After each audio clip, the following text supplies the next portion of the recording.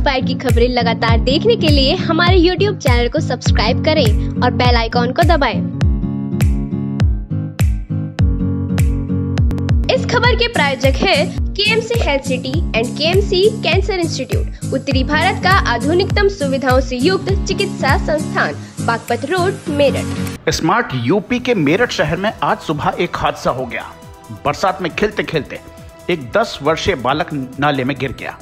अफरा तफरी मची तो नगर निगम व पुलिस ने सर्च ऑपरेशन शुरू किया।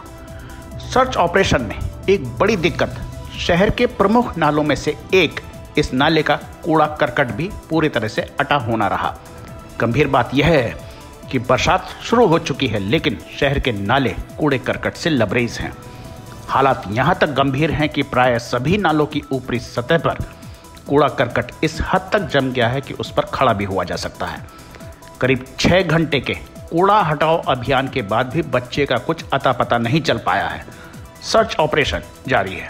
मैं हूँ रवि शर्मा और आप देख रहे हैं फ़र्स्ट बाइट डॉट टीवी दरअसल मेरठ के लिसाड़ी गेट थाना इलाके के जाकिर कॉलोनी में तस्लीम अपने परिवार के साथ रहता है।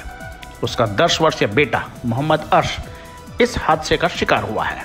नाले में वह कैसे गिरा, अभी इसका खुलासा नहीं हुआ है, लेकिन आसपास के लोगों का कहना है कि बरसात में खेलते खेलते संभवतः किसी बच्चे ने ही उसे धक्का दिया, जिस कारण वह नाले में जा गिरा।